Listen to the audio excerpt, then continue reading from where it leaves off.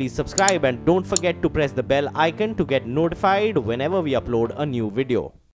साथियों, अगर अर्थव्यवस्था की बात करूँ तो पिछले तीन चार वर्षों में भारत ने अपने साथ ही पूरी दुनिया की इकोनॉमिक ग्रोथ को मजबूती दी है जो देश वर्ल्ड जीडीपी का केवल तीन प्रतिशत हिस्सा है, वो आज वर्ल्ड इकोनॉमी की ग्रोथ में सात गुना ज़्यादा कंट्रीब्यूट कर रहा है।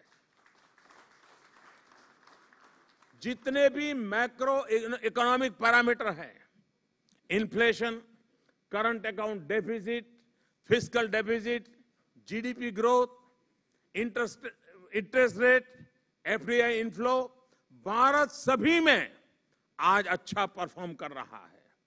आज विश्व में भारत के संदर्भ में जो बातें होती हैं, वो आशा और विश्वास के साथ होती है।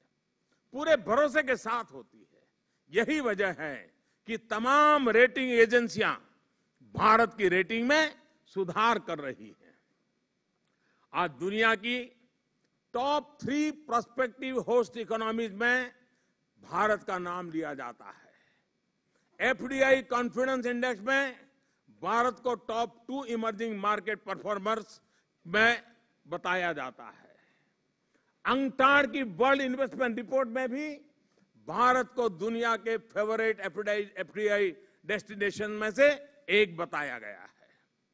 वर्ल्ड बैंक की ईज ऑफ़ डूइंग बिज़नेस की रैंकिंग में भी हमने सिर्फ़ तीन साल में 42 अंकों का सुधार किया है। वर्ष 2017-18 में तीसरे क्वार्टर में भारत ने 7.2 प्रतिशत की विकास दर हासिल की है। अर्थव्यवस्था के जानकार कह रहे हैं कि यह रफ्तार अभी और बढ़ेगी। साथियों 2014 के पहले देश के टैक्स सिस्टम की पहचान थी। इन्वेस्टर्स के लिए अनफ्रेंडली, अनप्रिडिक्टेबल नॉन ट्रांसपेरेंट अब उस स्थिति में परिवर्तन आ रहा है। जीएसटी ने भारत को दुनिया के सबसे बड़े इकोनॉमिक मार्केट में से एक के तौर पर स्थापित किया है।